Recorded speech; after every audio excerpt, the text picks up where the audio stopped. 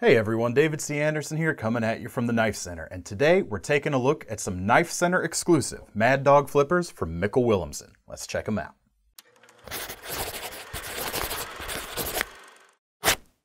So these knives come to us from the Willumsen Copenhagen label. They're made in China, but they're quality controlled in Denmark, with each piece being inspected and approved by Mikkel himself.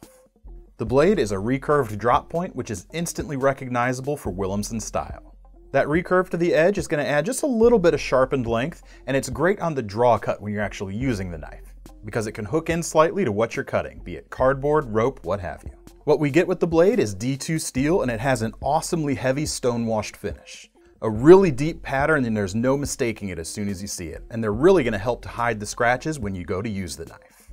Even more striking is the deep fuller, which runs the full length of the blade and actually exits near the point. Now traditionally, adding a fuller is a technique for removing some weight from the blade while also increasing its lateral strength, but here it's mostly done for style. Although it does wind up having a functional aspect too. You can actually use it to open the blade with your thumb. It's a great alternative to thumb studs or a blade cutout. We also get a broad finger groove at the back right behind the small sharpening choil, and that's a great place to choke up and it really balances the feel of the knife overall, forming a natural and integral part of the usable handle. In addition to the fuller opening method, this is of course a flipper knife. Caged bearings and a properly set detent make for sure-footed and reliable action. And once deployed, it looks perfectly poised in your hand like it's ready to strike. The handles themselves feature carbon fiber fronts with some great figuring, and a frame that's made from titanium with either a natural finish or several different anodized colors to pick from. Each has that same heavy stone wash to match the blade, and I can't stress enough how deep and how cool this finish is. It comes across even better in person than it does in video. When it comes to the overall handle design, that finger choil on the blade is very important, because otherwise the handle would feel too short. Technically it's three and a half fingers if you're choked back, but it doesn't really feel secure until you're choked up. In that position, it feels great. It indexes very naturally, and it means the edge is right in front of your finger in use. There's no wasted space, and it allows you to cut with precision.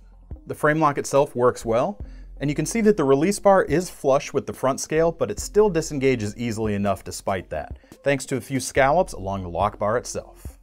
Looking at that lock bar, you can see that we've got a single screw here on the outside, and that mounts an internal stop tab and lock bar interface, ensuring that you're gonna get long life out of this blade, whether you're just flipping it or putting it to hard work. As far as the way these handles are screwed together, they're held together with just the pivot and a single barrel spacer here at the back, with hardware that actually echoes the pivot as well. But even despite having only two points of contact, there's plenty of rigidity and no looseness in the handle.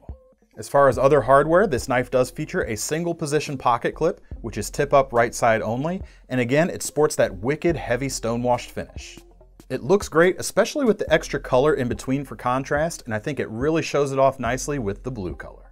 Overall, we think the Mad Dog makes one heck of an EDC with tons of attitude. It's certainly going to make an impression when you bring it out, and it should be able to work hard in day-to-day -day or even tactical roles. Make sure to let us know what you think of this knife down in the comments, and to get your hands on one, remember, this is a Knife Center exclusive, so the only way to get it is to click the link in the description below. See you next time. Knife Center exclusive. Can't use that. Can't use that. Use that. There's no wasted space, and it allows. Can't use that. Hopefully, you can scrub that out.